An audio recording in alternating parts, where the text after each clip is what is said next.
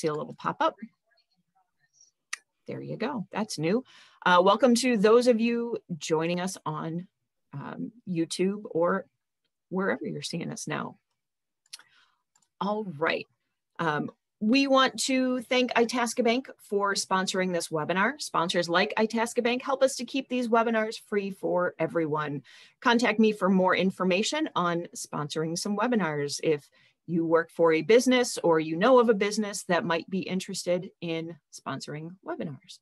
You can also help keep these webinars free. At the end, you're going to be taken to a page with a bunch of resources on things you might be interested in, um, such as our native plant guide, our rain barrel information, and so much more, including our virtual tip jar. If you're enjoying these webinars, I do encourage you to donate to help TCF continue to do all of the awesome stuff that we do because we do so much more than just webinars.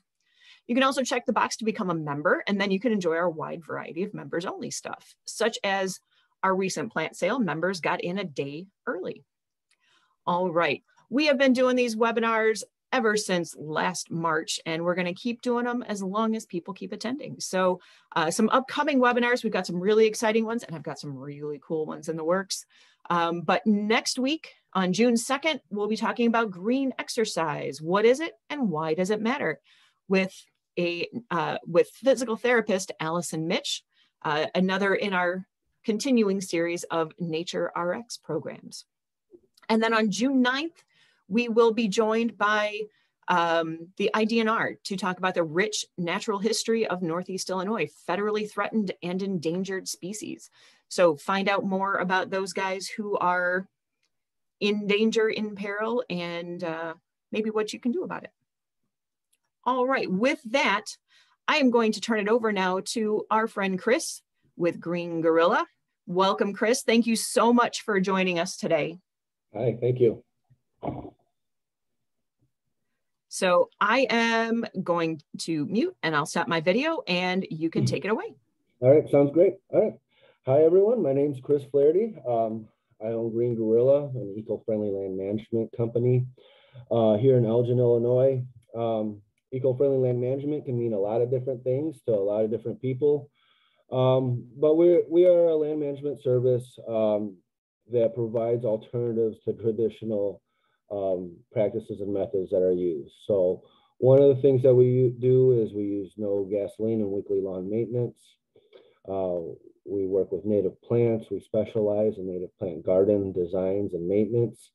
Um, so I'm going to take you through some examples of this type of work, so different applications that we've done um, in a short video that I've prepared um, for everyone.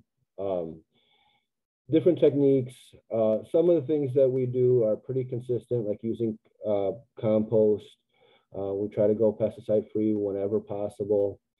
Um, and be strategic with planting and using native plants in uh, different types of settings. So I am going to share my screen. I'm not very fluent at Zoom, so please bear with me here. So,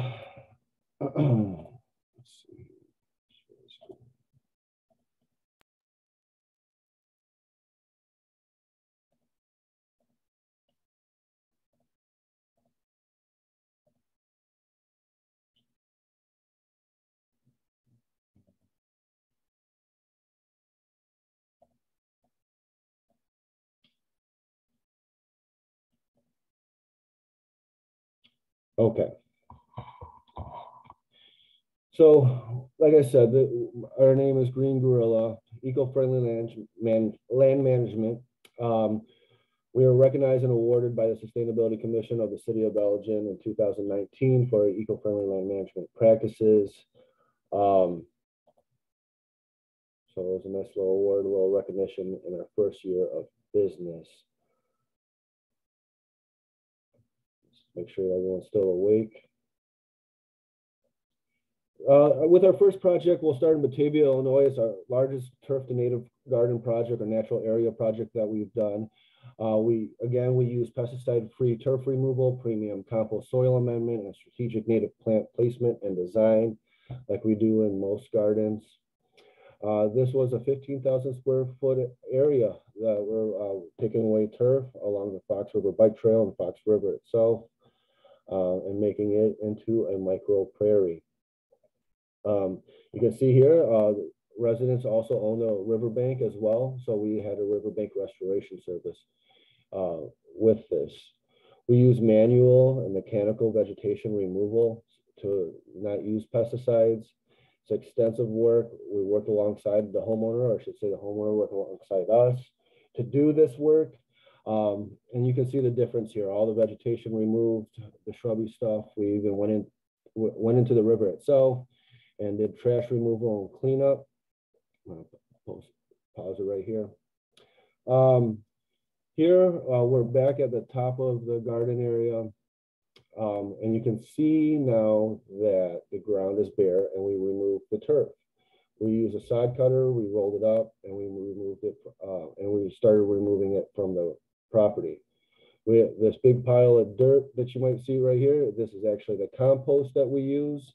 Um, as a top dressing and a soil amendment for the new plug plantings, just so the soil can retain moisture. It's a natural fertilizer with uh, introducing beneficial microbes to the soil. Um, so we amended this whole area that everywhere that you don't see grass, we put compost, um, which is a large scope of the area here that you can see taking it away. And we actually take, we took it away and we composted the turf. So kind of creating that compost circle that's so important. Um, you can see all this material here, a lot of work, a lot of prep, a lot of work comes in the beginning. So very extensive. Here, I'm, oh, you can see some of these beehives too that are part of the property as well. Um, here, I'm going to pause it. We have a, have a short video. This is Jenny. She did the majority of the work down on the riverbank and riverbank restoration. So um, I am going to share the audio. I hope it, let me know if you can't hear it. Hi, it's Jenny. I'm here at our Batavia Yard Conversion and Riverbank Naturalization Project. This is the River Garden as we've started calling it. It's very near completion. So I'd like to just point out what we've done here, show you what species are here, and talk a little bit about the techniques that we've used. So most of what you see here, kind of at the top part of the slope, are sedges, water-loving, moisture-loving sedges, three different kinds, lake bank sedge, frank sedge, and fox sedge. Um, these will be great at controlling erosion. Um, as you can see, it slopes down to the river, so those root systems will hold that soil in place and do the job, and they'll also look really pretty and bushy. Similar to this one, that's fully established, so that's that will be the most consistent look here.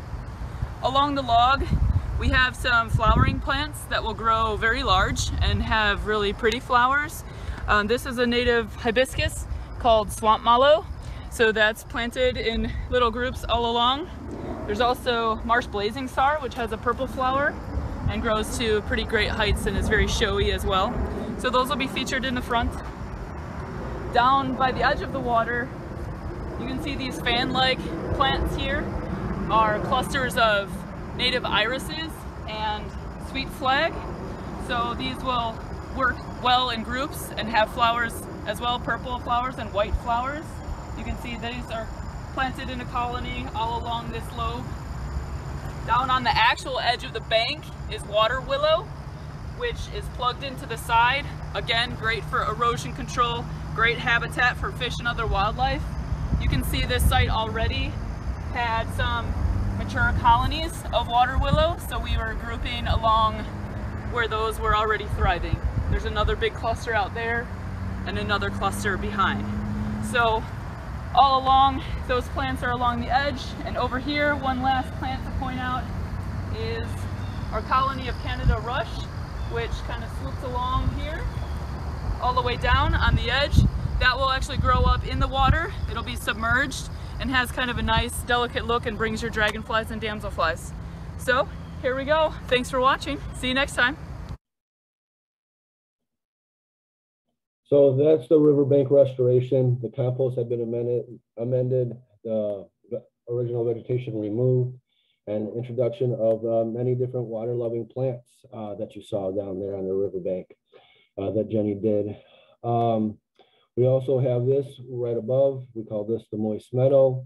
again, more water loving plants, a little bit more grasses in this area. Um, along with the homeowners here.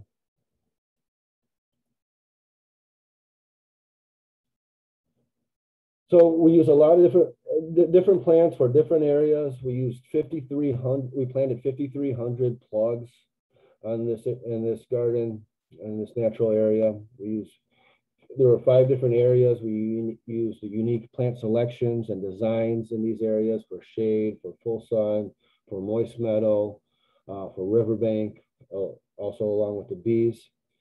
So um, yeah, so that's that's one of the uh, larger turf to native residential uh, jobs I think you'll see really uh, 15,000 square feet in Batavia, Illinois, uh, on the Fox River Bike Trail and Fox River itself. Uh, it was really a really exciting job, uh, a great opportunity for Green Guerrilla. We're really happy to do it.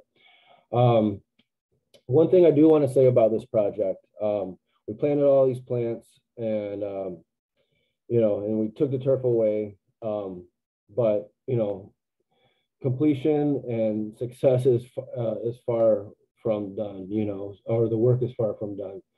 So with these homeowners here, um, you know, they they're they're understanding of this and knew that continued maintenance, you know, just like most property, you know, all property really needs continued maintenance. Um, so um, we're back at this property regularly, uh, right for the first year, every two weeks weeding, um, monitoring, documenting, and uh, just helping and promote the growth of all these different plants. Um, you know, planting, uh, planting by plug is better than planting by seed for success rate, but even with plugs, you don't get 100% success rate. So it's always important to monitor, to weed, and promote growth, um, and identify any problems that might be ha happening in your native garden. Um, I'll move on to a couple of uh, other examples of native gardens that we've done, projects that we've done. I think the next one here uh, will be in Algonquin, Illinois. Uh, this one's a front yard turf to native. So um, this was actually, uh, this customer is actually Chris Kious, the newly elected president for the um, Conservation Foundation, uh, I'm sorry, for Kane County Forest Reserve Park District. Um, and so we're changing um, part of his front yard um, to pollinators. Um, and this is done, you know, to promote biodiversity, to create habitat. But another part of doing it in the front yard is being an example and showing your neighbors what can be done in sustainable land management and what can be the, the new norm. So having all this grass, not having all this grass and putting natives is okay. And the more people that do it, the more normal it would become. And um, and it empowers and it's an example and um, that it's very powerful uh, as far as restoration and pr providing habitat for these endangered species. Um, so we're taking away turf again, amending, amending with compost, and then putting in a native plant garden um, with this aesthetic, you know, aesthetic pleasing um, design.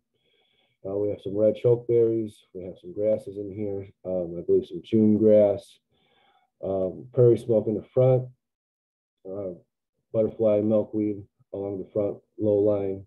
So another front yard to native garden. Other native gardens uh, are used to mitigate rain, uh, not just promote biodiversity, but also to mitigate runoff rainwater. And this is one here in Elgin, Illinois that we did this year. Uh, like you often see uh, border property lines, a lot of runoff rainwater rushing down these uh, borders. Um, and then the, kind of just like meeting uh, where all the borders of the property meet and, and creating a flooding pro uh, problem. Uh, you might see these in your neighborhood, at your house, uh, but it's becoming more and more common with all this displaced runoff rainwater. So a homeowner here wanted to mitigate this pollution and harvest some of this rainwater by putting a uh, rain by putting a rain garden here in the back corner and along the side uh, along the property uh, fence line here. here you can see we also offer digital designs um, just for a reference so you can you know kind of know what you're expecting aesthetically with plant selections and placement. Uh, we do this for a lot of the, um, almost all native residential gardens here again along the fence line. Um, just a visual reference, stone, we're using stone, white indigo, heath asters, wild bergamot. Um, these are plants at maturity. And then homeowner here has um, taken a video, um, provided us a video with uh, the rain garden at completion. Um, so these beautiful wind chimes. Always makes it nice to work in the garden when you have wind chimes, just saying. Uh, we use Cherry Creek stone, a lot of water loving plants down the border. Um, you know, executing the design that we put in the graphics. Small plants, it's gonna take them a while for maturity. It's uh, not an overnight thing. Uh, signage, again, everybody loves signage. Um, and it's important to encourage other people uh, on what you're doing. And then sometimes just reinforcing it to yourself on what you're doing and why it's important um, to us, to our community, to our environment. We have some red osier dogwoods in the back, some purple prairie coneflower, some uh, swamp milkweed, uh, cream gentian, uh, sedges in there, a depression with a berm, rock berm, access area to the path. And then al along the path, just a transition between butterfly milkweed, oh, I'm sorry, cream gentian and prairie smoke. So that's a turf to native garden, a rain garden in Elgin, Illinois. Um, here's another one. You could just have a pollinator garden. You just want to attract all the local pollinators. And there's a lot of good reasons for this. Oh, um, there's a lot of good reasons for this. And uh, we here's a short video um, that we put together. I'll let you guys listen in. I'll let me take over. Hello everyone, um, Chris with Green Guerrilla again here in Geneva, Illinois. I uh, just finished up a native garden. I uh, just wanted to point out some of the unique features that we have for these gardens in this backyard that uh, you know you can use in any residential setting. So here we uh, we transform what used to be a raised garden bed like you can see here on the sides. Uh, these raised garden beds, uh, these two were the same, they were raised, same shape but uh, and wood, and we re completely removed those. Brought them down to ground level and introduced this Fond du Lac stone border in, in, to match what the existing border that was here. And then we introduced some native plants uh, for pollinator gardens. Uh, with these gardens, they the two gardens mirror each other. The two sides mirror each other. Um, so in the middle here, just some wild bergamot. We have cream gentian, purple coneflower, uh, butterfly weed, uh, prairie, prairie dropseed, bottle brush grass. Um, but in a backyard setting uh, with vegetable gardens, a complementary piece to have are pollinator gardens. So you have a high yield for vegetables and you create habitat and biodiversity for local migratory species. Thanks for taking a look. So those are those are some of the different examples and jobs that we do. Uh, there's a wide range of, of things that you can do with a pollinator garden and why you should have one. Um, rain garden, uh, promoting biodiversity for local endangered uh, insects, mitigating runoff rainwater and pollution. So, um, and we do all those. Um, each job is unique. Um, and, you know, it, it's kind of a kind of a puzzle to put together. So it's definitely not cookie cutter. So if you're looking to do it yourself, uh, you know, I will always say just kind of go with your gut. You know your land the best, um, and you know, just collaborate and work on um, something that you're going to be really happy happy with. And you know, and it never hurts to start small and then go bigger, of course. So um, Green Guerrilla is a full service land management company. Um, so we also do groundskeeping, so like mowing, um, uh, snow removal. Um, we are the groundskeepers for the Elgin Math and Science Academy here in, in Elgin, Illinois. Um, so we do everything on campus. Um, but I'll, I'll show you a little bit of what, I'll show you a lot of what we do on there because it, on campus, we're able to exercise a lot of our different techniques in eco-friendly land management. So there are a lot of different steps um, and different things that you practices that you can do. um, some that we have already gone over. So the Elgin Math and Science Academy is a 19 acre campus here in Elgin, Illinois. Um, multi-building. Uh, it's been a school, it used to be Chicago Junior School, in case you heard of that one. Um, it sits next to an Illinois State Preserve, uh, which is uh, the highest level of protection the state can give a parcel of land here. Um, so it, it's it's recognized, it's important because it has a very unique ecosystem. Being the only forested fen in the state of Illinois, it's rare and it's fragile. Um, so it needs protection and, and people need to learn about on how to protect it and why it's important and why it's fragile. Um, so we use our um, our experience and our techniques uh, with no gasoline and weekly uh, maintenance uh, in the school setting. We use electric power tools. Um, we use electric power tools to reduce noise, to reduce pollution. Um,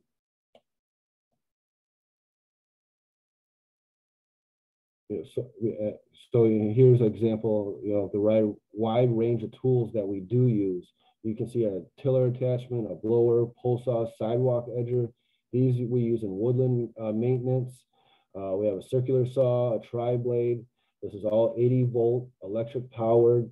So no emissions, no gas spillage, um, quieter service, chainsaw, backpack blower, hedge trimmer, line trimmer, of course.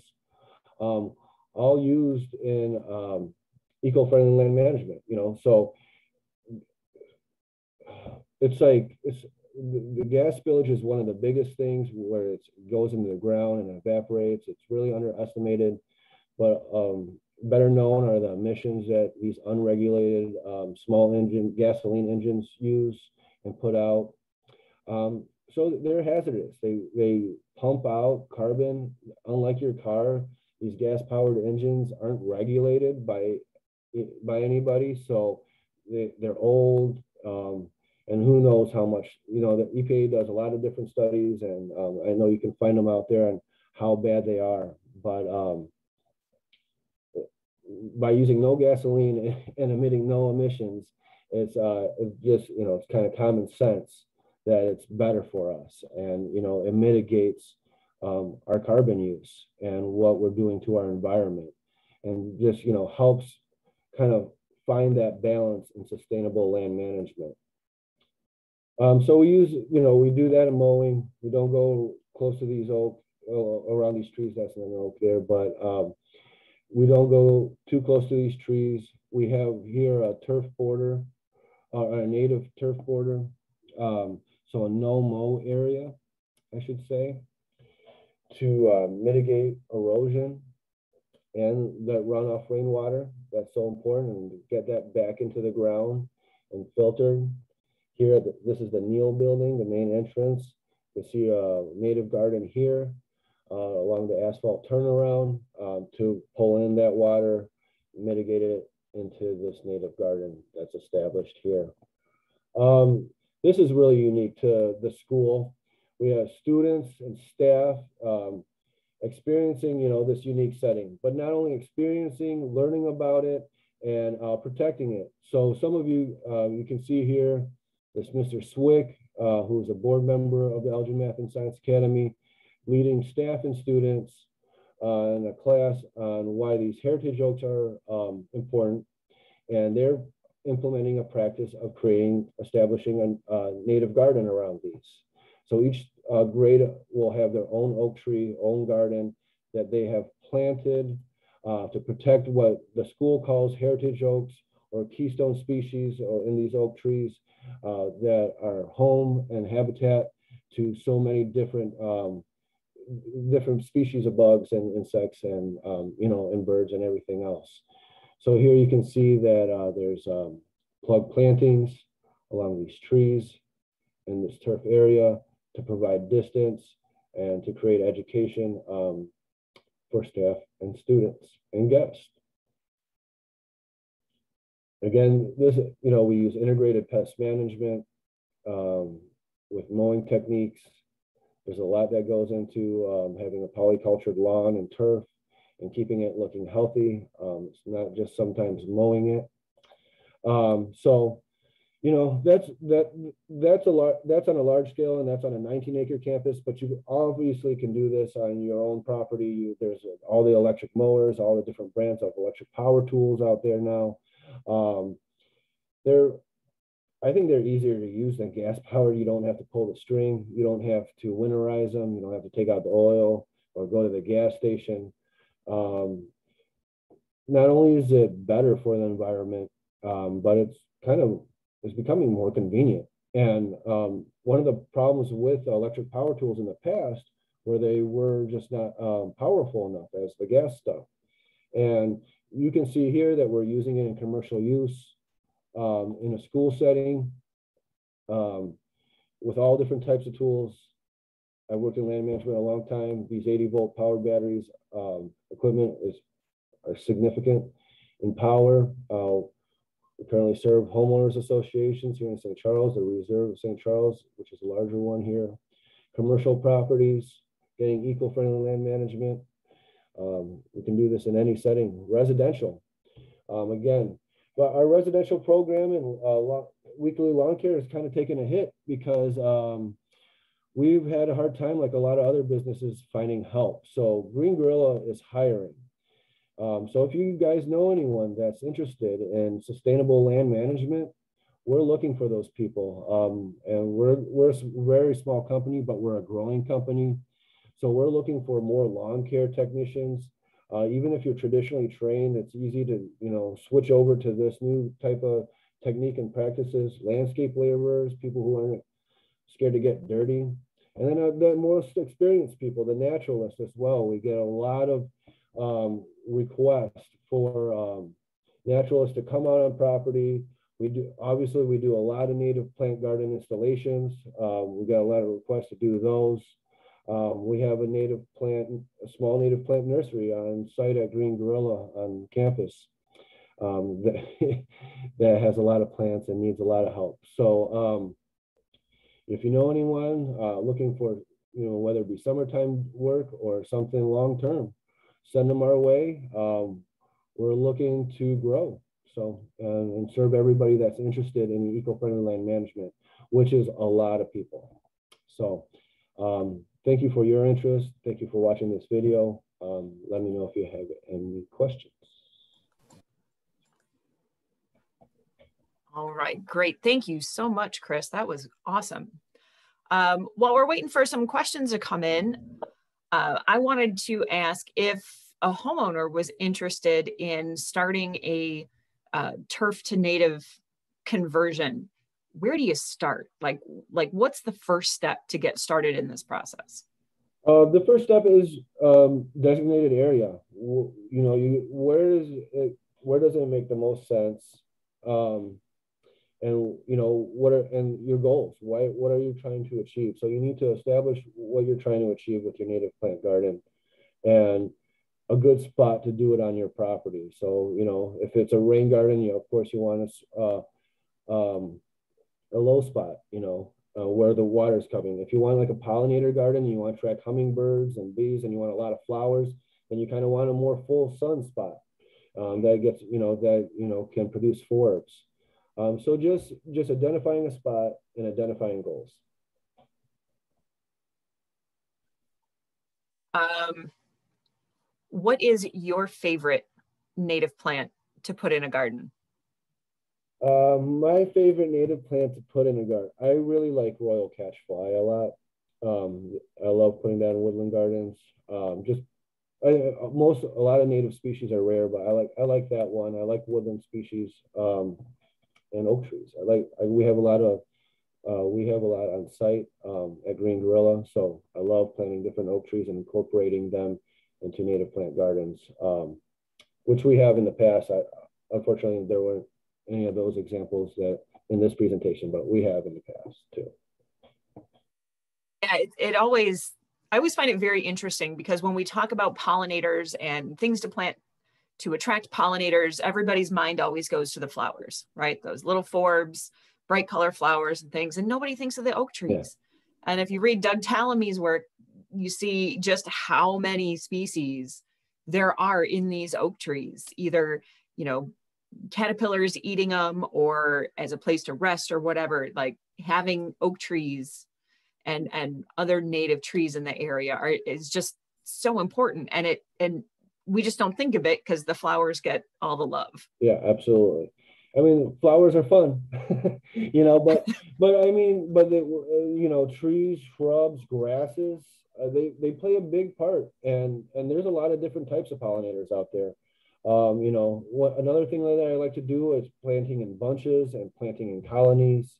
Um, you know and you know when possible kind of just kind of mimicking you know the natural uh, habitat and state that and sometimes you can't sometimes it's a front yard garden and you're trying to try and find the balance of natives and aesthetics um, you know to fit in properly in your neighborhood um, which can be accomplished but so yeah it's one of the things that i like about native gardens is eh, there's a style for everyone. Whether somebody is you know, stuck on that well manicured English garden look or wants a big, wild, and natural looking thing, there's a way to incorporate native plants no matter what your design style is. Yeah, that is kind of like the point of like Green Guerrilla, you know, because, you know, some people say, well, you know, mowing is not eco friendly. So how can you be an eco friendly land management company? or um, you know, or you know, or you know, some you know people are with the blowers. You can, you know, you're using a blower, um, and that's what the point of Green Guerrilla is. That a lot of people just don't know what's available and what can be done eco-friendly, and it's just kind of taking that first step, whether it be planting a native plant garden or not using any gasoline in your lawnmower anymore.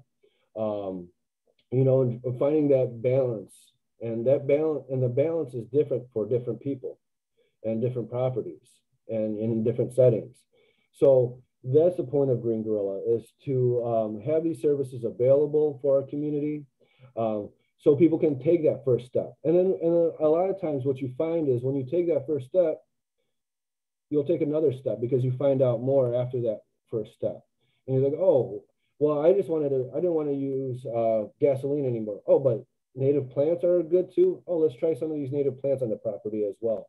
So um, that's that that's the whole point of Green Guerrilla, and that's the only thing I can say. Whatever whatever it is, um, in reducing your carbon, and that's also you know planting plants. We're learning more about how much carbon plants uh, hold in the ground. You know, um, really? But um, whatever that step may be, um, is just take it you know, and, and, and it's helpful. And, and don't let anybody tell you that it's not, because it is. Um, and that's how that, and that's how we get somewhere is one step at a time. And uh, these new steps that uh, feel like changes or different, uh, the more people that do them, the more normal it becomes, and um, change becomes normal. So. Absolutely, you know, I talk to a lot of people who are very overwhelmed because they think they have to go from a traditional yard to you know six foot tall prairie in order to be helpful. And just getting people to take that first step sometimes of maybe swap out a hosta for something native for some butterfly weed or something like that. Just make that one little switch. Yeah. And see how it goes yeah you know and and and don't overwhelm yourself by trying to overhaul your entire yard all at once because that gets very overwhelming for people it is. Yeah. And that's what stops a lot of people. And just because you have a garden that's not native doesn't mean you can't introduce natives in it. you know what I mean? Exactly. You, you, can you can you can start the process slow. You can like you said, you can just introduce one plant at a time. And uh, if you have perennials or exotics, that doesn't mean you can't you can't plant a native next to it. Um, go ahead, do it. and and uh, I, I love the point you make of taking that first step is the most important thing because having one native plant is still better than having no native plants or you know keeping your non-native garden but swapping out your lawn care routine for electric or whatever you know every little step helps you you don't have to go you know full bore hippie tree hugger you can just take that one first step and even doing that is something yeah, absolutely. And some of this stuff is, I mean, it's also about education because, you know, by trade, I'm a laborer and using uh, power tools and equipment, um, you know, is something that I've done for a while now. And some of the stuff, like when you're talking about your lawnmower and a blower, and um, even even even a snow blower, even these electric snow blowers that we use as well in, in snow removal. Um, you know, you're not having to change out the oil or change out the spark plug, winterize it, take, suck out all the gas and winterize it, and all the maintenance and care that goes in and taking proper care of that gasoline equipment. When it's time to buy new, maybe you think about maybe buying electric because it, it's it works just as good as the gas stuff now and it's a lot easier and cleaner to take care of. And uh, oh yeah, maintenance is much much less. All right, let's see if we have any. Uh, not seeing any other questions in there, so I guess we'll just go ahead and end a little bit early today. Um, thank you so much, Chris, for for joining us. This has been great, great discussion, and I always love seeing pictures of native gardens in progress and you know seeing them done is one thing but seeing that in progress always gives me that um, inspiration to to get started on another area of my yard. So thanks so much for joining us today and thank you all for joining us as well. We hope to see you next week when we talk about green exercise and the benefits of exercising outdoors. So thanks everybody. Take care and we'll see you next time. Goodbye.